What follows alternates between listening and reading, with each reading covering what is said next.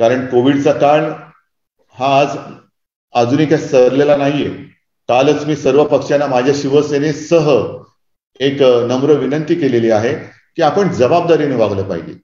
आपलं राजकारण हे राजकारण सर्व चालत राहील हरकत नाही. पण शेवटी जबाबदारी हा एक जो विषय असतो तो आपला आपण ओळखून आपण जर का जबाबदारीने वागलं नाही तर जनता कशी वागेल? जनता आपल्याकडनं काय अपेक्षा ठेवेल? आणि ही जबाबदारी ओळखून त्याचं भान ठेवून आज मंदिरं जरी बंद असली तरी अत्यावश्यक आरोग्य मंदिरं हॉस्पिटलच्या माध्यमातून आपण उघडता आहात. त्याच्याबद्दल जनता तुम्हाला आशीर्वाद दिल्याशिवाय राहणार नाहीये. आहे धर्म धार्मिक स्थळे उघडी राहिली पाहिजेत. ठीक आहे हरकत नाहीये.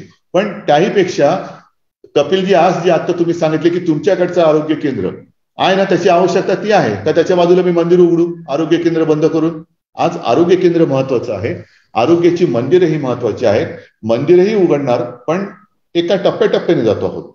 टप्प्याटप्प्याने जातो आपण घोषणा देताना भारत माता की जय वंदे मातरम द्यायला चांगले आहेत. आम्ही सुद्धा त्या देतो. आम्ही नुसत्या घोषणाच दिलेल्या नाही आहेत घोषणेच्या पुढे जाऊन हिंदुत्वाचं रक्षण करणारी ही शिवसेना आहे. हे ब्याण्णव त्र्याण्णव साली दाखवून दिलेलं आहे.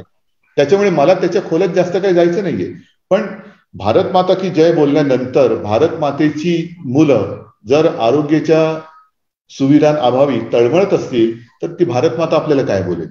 ती काय सांगेल की अरे तुमचं माझ्याकडे नुसतं जयघोष करून काय बघताय? माझी बाळं तिकडे लेकरं ही तळमळत आहेत त्यांना ऑक्सिजन मिळत नाही त्यांना औषध पाणी मिळत नाहीये त्यांच्या सोयी सुविधांकडे लक्ष द्या नुसत्या घोषणा दिल्या म्हणजे ती काही बरी होतील अशातला भाग नाहीये. त्यांना बरं कसं करायचं ते पहिलं बघा. आणि त्या दिशेने आपण पाऊल टाकतो आहोत ते फार महत्वाचं आहे. हे फार महत्वाचं आहे.